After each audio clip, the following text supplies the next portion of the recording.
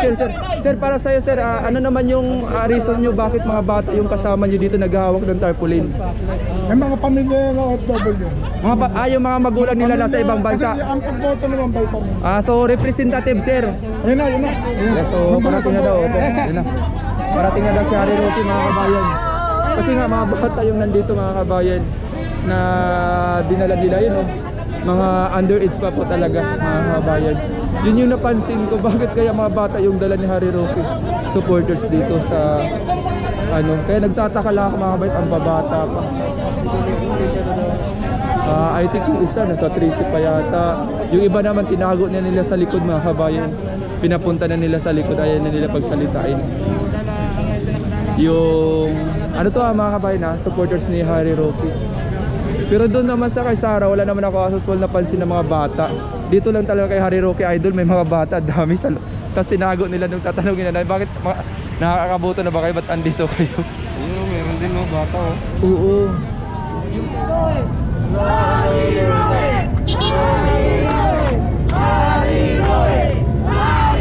Si Harry Roque mga kabayan. Ma'am Elizabeth North, magandang araw po. Sir Will Quezon, Ma'am Aurora Quezon, magandang araw po. At magandang gabi na sa ibang bansa. Sir, good luck! Sir, good luck, sir!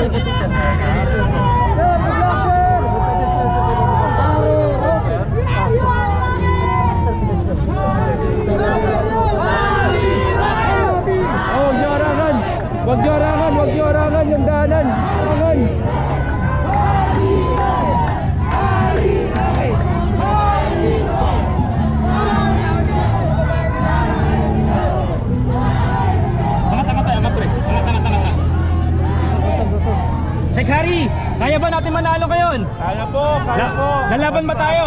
Laban po ito, laban. Para sa Pilipino po ito. Ha? Pilipino po ito, ha? Kaya Harry Roque ba? Tatakdan niya. Senador, senador, senador. Sir, sir, sir, sir. Ano na kayo, sir, sir, sir? Eh, ano nyo na po, Bolo? Sige po, sir, sir. Oo. Sir, Padaanin niyo, padaanin niyo. Oh, padaanin niyo, padaanin niyo. Padaanin niyo, padaanin niyo, padaanin niyo.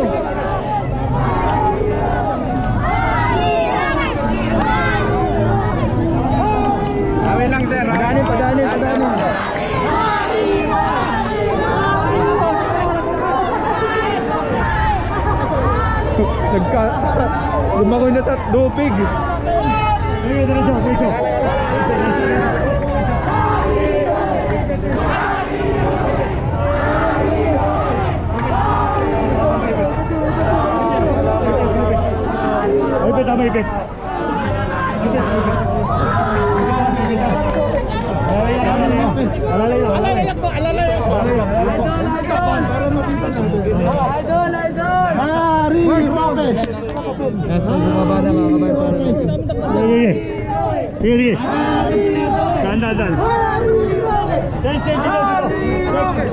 Harry Roque!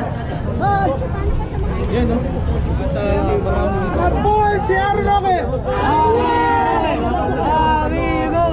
Check, check, check. Check dito. Dito ba, dito? Dito.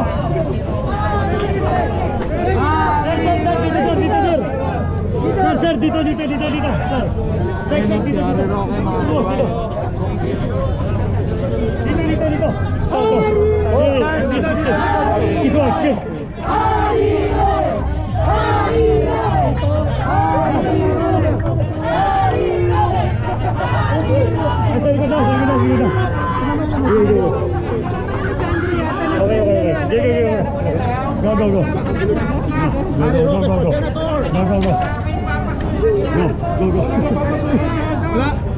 papasukan daw dyan, walang papasukan. Dito, dito dapat. Dapat dito, dito sir ang pasukan. Dito ang pasukan po, dito ang pasukan kami mo.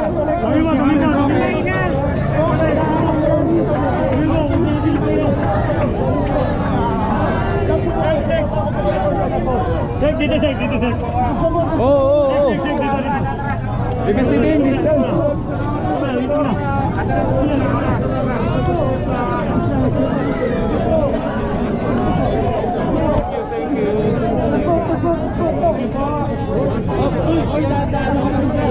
So ayun, medyo gumagawin dito.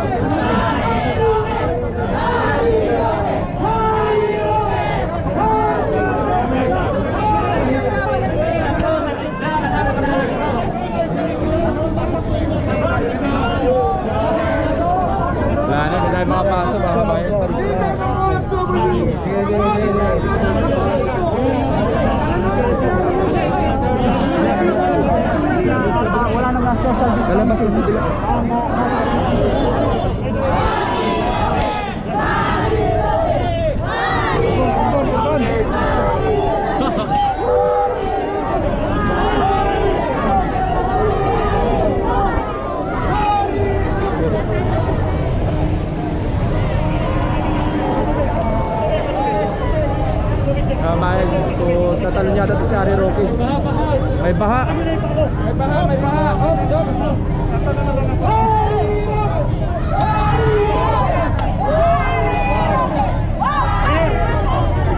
Sir, malakas pa ang panlaban natin ngayon mga ano tayo, sir? Well, tingin ko naman po, suportado tayo ng karamihan. Karamihan. Dahil ang tinataguhin po natin, ang buhay sa panahon ng pandemya. Salamat po, Secretary, ah, youth, ah, spokesperson Harry Roque.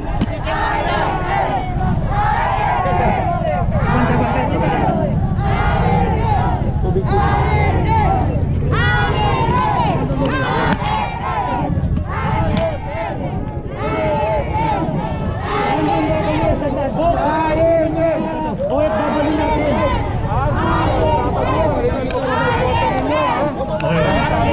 Nagbigay ng ah, libreng tuition sa ating mga kababayan at tayo po nagbigay ng universal healthcare at libreng pagkain sa mga nagugutom na kababayan. Yan, marami taga-suporta ngayon sa, sa ah, Spoke Harry Roque. Ang dami natin ngayon dito.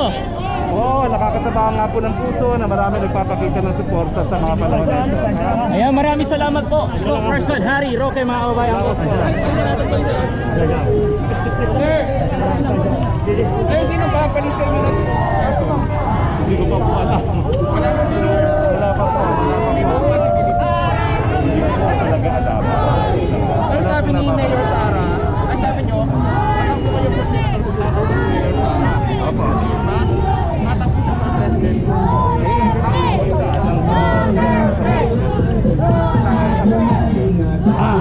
Agon,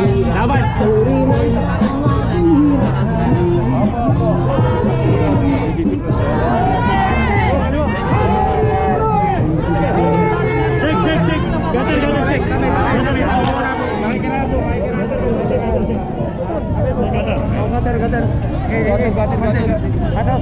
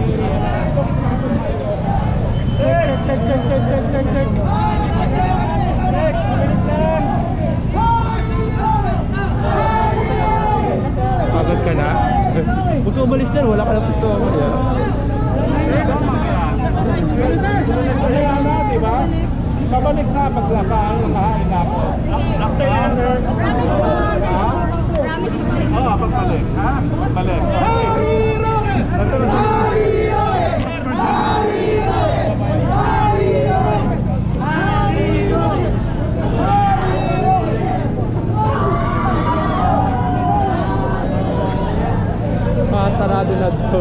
Wala rin ganun. Dito siya pinapasok sa entrance.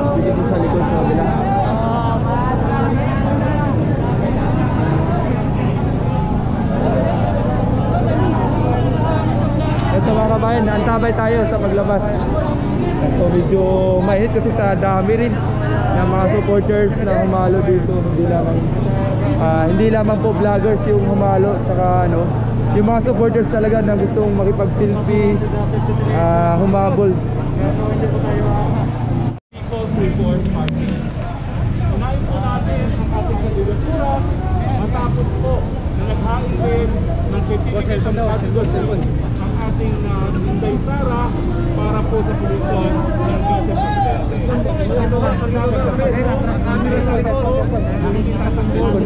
Cellphone daw sir, cellphone daw sir. Ibaba daw sir, baba cellphone. Baba pa na konti sir, baba pa. Naniniwala po tayo dun sa ating kampanya bilang spokesperson, ingat buhay para sa hanap buhay. Baba daw sir ng konti sir, sir. mga nakalipas na isang taon at kalahati, Wala po tayong sinabi kundi ingat buhay, mahal, hugas, uh, iwas at bakuna dahil yan po naman ang kalusunod sa karapatan ng kalusutan at tayo po nagtulong ng Universal Health Care ng 17th Congress dyan po sa Kongreso. Sir, sir, pumunta ba po ang ating ah, ang ating uh, reason Cellphone daw, sir, kailangan cellphone daw. mapatupad ng gusto ang Universal Health Care pero ngayon po importante rin na habang hindi po mawawala si COVID-19 lahat tayo ay makapaghanap buhay so ang panawagan natin ingat buhay para sa hanap buhay at ginawa natin minsan lalabanan po natin ang lahat na tututol na magkaroon ng hanap buhay Sir, si PRD, si PRD, si PRD, any announcement? Have filed my certificate of candidacy, I am no longer presidential spokesperson. This much I can say. Nung naghain po tayo ng uh, certificate of candidacy, hindi lang po si Mayor Inday Sara ang sasamahan natin, sasamahan din po natin si Presidente Rodrigo Roa Duterte sa kanyang posisyon na tatakbuhan, hindi po kami maghihiwalay ng aking Presidente. Bilang ano sir, bilang ano sir? At siguro po, in a matter of hours, darating po ang kanyang representante para maghain ng kanyang certificate of candidacy. Sabay sir, sabay sir sa senator, yun na. Well, antayin na lang po natin ang papel dahil gaya ng ating pulisiya sa Malacanang, kung walang papel, hindi po nag-aanunsyo. Sir, hindi na po Pero darating na po ang kanyang papel, antayin na lang po natin, hindi ko po hihiwalay, hindi po ako hihiwalay sa aking presidente, Rodrigo Roman. Sir, ito na lang. Sir, ito na lang. Magbabangga ba si Mayor at saka si Presidente? Ang masasabi ko lang po, nagmamahalan po ang masamang Rodrigo Roa Duterte at Mayor Inday Sara. Hindi, hindi po sila magbabanggaan, hindi, hindi po sila maglalabanan sa kahit anong posisyon. So, Senator, sir, thank you very much. Yan na yan na mga kababayan.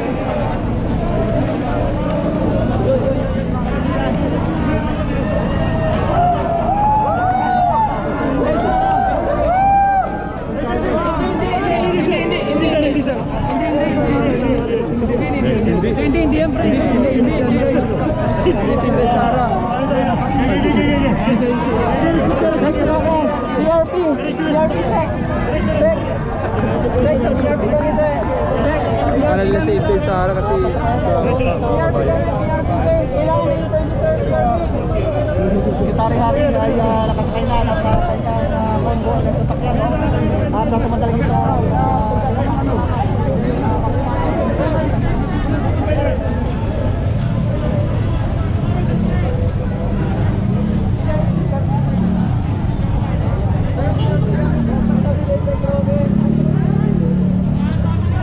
PRP kami, PRP.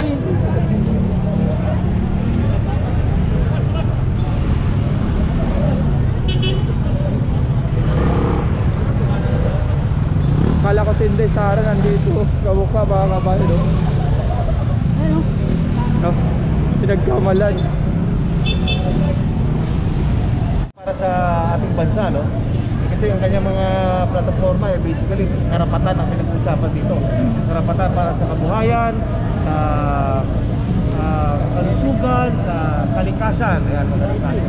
Bagamat siyempre, medyo di naging maganda yung nangyari doon sa UN, pero isang pagkakataon nito para mas maging malinaw kung ano nga ba talaga ang ibig sabihin ng paglalakad natin sa karapatan natin at hindi lang international kundi pati dito sa local, ano, local na pamamagitan ng ating uh, paggawa ng batas sa Senado. So, maganda pagkakataon ito para mas makita talaga kung anong klaseng uh, servant leader ang ating uh, susunod na senador, no? na si Harry Roque. Sir Leo, pwede po magtanong? May naman kami tulong. Tinataboy kami mga vlogger dito para makapaglabas ng totoong story. Ano po masasabi niyo to? Hindi, eh, siyempre lahat naman may karapatan eh. Freedom of uh, expression and freedom of speech, eh, di ba? Yes, So, nasa sa inyo yan. Ah, kung ano, pwede naman natin i... Dapat nga meron kayo samahan ng mga vlogger, meron ba? Wala. Wala pa. Diba, eh, ito na. Maglistahan na kayo ngayon dyan. Ilagay nyo kung sino, kung ano man dyan. sa kilos sa pagbabago. Oo, isama yung sa kilos sa pagbabago. Importante kasi dito, marinig yung totoo na balita. Walang ano, walang... At yung ano yung hinaing galing sa ilalim. Yun po. At saka ito, mga millennial, ano, mga vloggers na to, importante, importante to. Dahil ito yung alternative media na tinatawag, di ba? Yes po. Yung mainstream media, alam naman natin kahit pa paano, eh, iba, hindi naman sa sinasabi natin na may ibang intention o whatsoever it is, pero sa mga vloggers, eh, yan ang paraan para i-balance ang impormasyon. Yes. Di ba? So, yun lang naman pwede natin sabihin. Ano lang naman, lahat naman merong karapatan. So, pagbabalansin na lang yan kung paano mas mapagliguran natin ang ating bansa. Sir, ano yung masabi mo sa ah, mga malaking media na galit sa vlogger? eh, lahat nga may karapatan. Mga vloggers din naman, minsan meron din naman galing sa media, di ba? May kanya-kanya ano yan. Ang importante, eh yung kung paano makapag-isa natin ang ating bansa. No? Na yung, yung konting problema, ay makita natin kung paano natin masulusunan sama-sama. Ito lalo to, darating na election, ito pagkakataon na kung saan magkaisa tayo at piliin natin ang tunay kung sino ang makapaglilingkod para sa ating bansa. Sir, isang tanong lang sir, Ah, sa tingin niyo po kaya si Tatay Digong eh magpo-file po sa last seconds po ng ano ng ah, filing po for today ng pagka-busy. Ano po sa tingin niyo sir? Ah, ang opinion ko dyan, eh, alam nyo naman si Tatay Digong eh, may sariling ah, mga desisyon. So hindi niya naman pagkahawakan yan. Basta sa akin, naniniwala ako, personally, dahil ako ay mga Duterte, na kung ano man ang desisyon na gagawin niya ay para sa ikabubuti ng ating bansa. So, nothing ano, nothing personal o ano man kung ano mangyayari, basta sampalataya tayo dyan na lahat ng bagay na nangyayari, especially itong mga naging magandang proyekto itong nakaraan at ah, kung ano pa mangyayari dyan at sa, sa, sa susunod. Iba kasi ang salita sa gawa. Yes. Diba? Ibang salita sa gawa. Mas tingnan natin kung ano ang gawa. Si Tatay Digong minsan iba sinasabi, iba ganon, etc. Pero tingnan natin yung mas malalim. Ang importante, na paglingkuran niya na mabuti ang ating bansa. Ay, ang sir, ano pong reaction niyo sir na hindi daw alam ni Tatay Digong yung ah, pag-file po ni ah, Sara Duterte ng pagka-busy? Kaya nga sabi ha, alam nyo, ang ah, media sometimes is misinformation or sometimes disinformation or whatsoever. Sinasabi lang natin dito, tingnan natin ang gawa. Ang salita, lahat tayo maraming pwedeng sabihin. Kahit ito sa mga vlogs natin, marami tayong pwedeng sabihin. Mula Earth to Mars. I love you to the Earth, up to the moon, etc. etc. Yes, di ba? yes, opo. Pero ano ba ang gawa? Nakikita ba sa gawa? Nakakabuti ba yung gawa natin para sa Yes. bansang Pilipinas? Sa mga maliliit na ating mga kasamahan, mga, di ba, nasa laylayan, yun lang po. So yun lang naman ang pwede natin sabihin. Ah, ito pa, binagit natin kanina. Sabi niyo tinataboy kayo whatsoever. Eh, Magkaisa kayo, wala nang problema. Bisa kasi ang mga vlogger nagpapataasan eh. Diba? Hindi, eh kung magkakaisa kayo, mas Sir, may maganda. tanong pa po ako sir. Ah, ano po yung magiging plataforma ni at ni Senator Roque? Ah, yun ang binagit ko nga. Sa sentro ito sa karapatan. Kasi Harry Roque, human rights, yun naman talaga siya. eh. Abogado, karapatan ang pinag-uusapan dito. Karapatan na magkaroon ng magandang kabuhayan, karapatan na sa kalikasan, maging maayos sa kalikasan natin, karapatan sa kalusugan. Pinaglalaban niya, lalo na sa PhilHealth. So, yun na po. Maraming salamat. Thank you, salamat. Attorney Naya Berer. Thank you, Mayor Thank you, sir. Pagkakalari po tayo. Sa Attorney Mayor Berer, siya yung last natin.